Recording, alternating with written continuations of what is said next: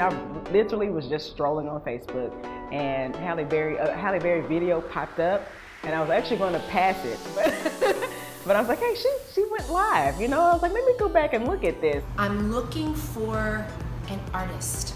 She was just on there talking about how she's relaunching her Hallewood fan page, but she needed a new look for the website, a new logo. And I just thought I'd give it a shot and then if I if I win, I win. If I don't, eh.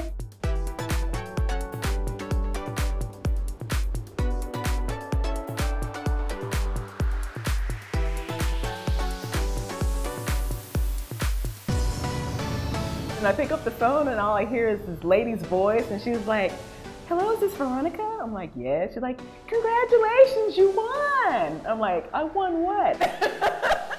you know, completely not, you know, just not even thinking. And she was like, you won. You won the Hallewood contest. This is Halle Berry. I'm like, oh my God.